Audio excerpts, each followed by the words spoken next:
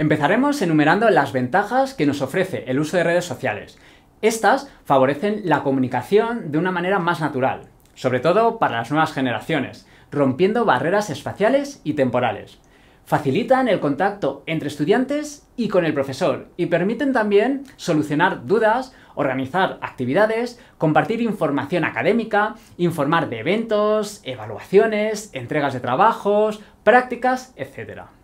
Nos permiten conectar nuestra asignatura, sus contenidos, con el mundo real entablar una conversación en directo o diferido con empresas que estemos estudiando, investigadoras de las que hayamos hablado o que muestren experimentos de los que hemos trabajado en el aula.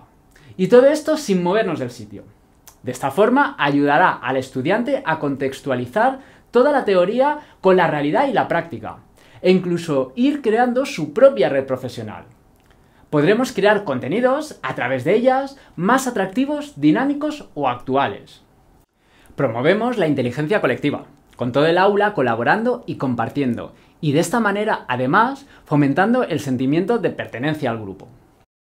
Estas comunidades de aprendizaje son idóneas para el trabajo colaborativo dentro de la asignatura, promoviendo el pensamiento crítico con debates generados entre los miembros y la diversidad de conocimientos y experiencias puede contribuir a un proceso más positivo de aprendizaje. Las redes sociales digitales nos permiten una retroalimentación informativa casi instantánea, construir de manera compartida el conocimiento, ampliar los límites del aula abriéndola no solo a nuestros estudiantes, reforzar relaciones internas entre los estudiantes de nuestra clase y motivar al propio estudiante e implicarle más activamente en la asignatura, favoreciendo de esta manera el aprendizaje autónomo. Sin olvidar que son espacios en los que habitualmente ya están y los conocen. Todos los estudiantes además pueden ser protagonistas y para aquellos más tímidos puede ser una oportunidad para hablar.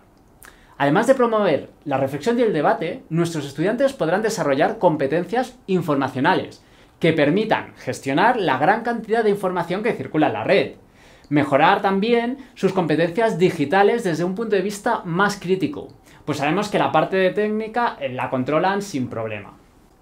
Y con una adecuada guía, por nuestra parte, podremos generar hábitos positivos en el uso de redes sociales, que les supondrá una ventaja competitiva a la hora de enfrentarse al mundo laboral, sin olvidar una huella académica que pueden ir generando a lo largo de sus estudios. Permiten unir las actividades académicas con el aprendizaje informal asociado a las relaciones sociales, presenciales o virtuales, se crea un entorno de trabajo sencillo, intuitivo, amigable y que es aceptado por los estudiantes, siendo una preparación para un aprendizaje que será habitual en su futuro como profesionales. Pero no todos son ventajas. También encontraremos limitaciones o dificultades a la, hora de utilizar estas redes sociales. En primer lugar, el hecho de crear una comunidad de aprendizaje en una red social llevará implícito todo el entorno de dicha red, todas las publicaciones no relacionadas con nuestra asignatura y, en general, un flujo de información constante que puede suponer una distracción. Podemos encontrarnos con una barrera importante debido a una carencia de competencias digitales, de alfabetización informacional y de sentido crítico en los estudiantes. Esto podrá afectar al rendimiento, añadir dificultades adicionales al aprendizaje del contenido de nuestra asignatura o dar lugar a un uso de recursos de baja calidad, tomándolos directamente, por ejemplo, de la propia red en la que estemos, sin buscar más allá. O incluso un uso inadecuado de los contenidos que encuentren en la web. También podemos enfrentarnos a una actitud negativa por parte de los estudiantes al asociar las redes sociales al ocio o por miedo a exponerse en la red, aunque sea su actividad académica, ya sea por vergüenza, inseguridad o desconocimiento de las ventajas que le puede ofrecer. Otros incluso no tengan perfiles en redes sociales y no quieran tenerlos. Esta actitud negativa puede deberse también a que no lleguen a justificar el motivo de esas redes sociales en una asignatura, o no le vean la utilidad o ventajas. Eso puede ser consecuencia de un mal planteamiento a la hora de integrar la comunidad virtual en el diseño de nuestra asignatura.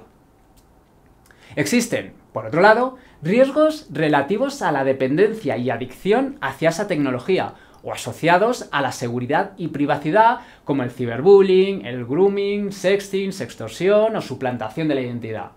Y no olvidemos que al estar en contextos informales puede dar lugar a una mayor laxitud en el lenguaje o confianzas excesivas por parte de los estudiantes. Incluso a veces pueden utilizarlas como medios de comunicación para asuntos formales con el centro o el docente, en lugar de aquellos establecidos de manera oficial. O abusar de esa necesidad de inmediatez, con mensajes a horas intempestivas e insistiendo hasta obtener una respuesta en el mismo instante. Centrándonos en el diseño de nuestra asignatura, el hecho de utilizar comunidades de esta tipología puede suponer un incremento importante en la carga de trabajo. Es fácil caer en la tentación de un uso indiscriminado de tecnología, que, aun permitiéndonos cubrir todas las necesidades planteadas, supongan un esfuerzo excesivo para el estudiante y dedique un tiempo adicional a comprender y aprender a utilizar esa tecnología, no contemplado dentro del diseño de la asignatura. Y para finalizar, cuidado también, pues al ser medios virtuales, pueden incrementarse los ya habituales y conocidos por nosotros problemas en los grupos de trabajo de nuestros estudiantes dentro de la asignatura.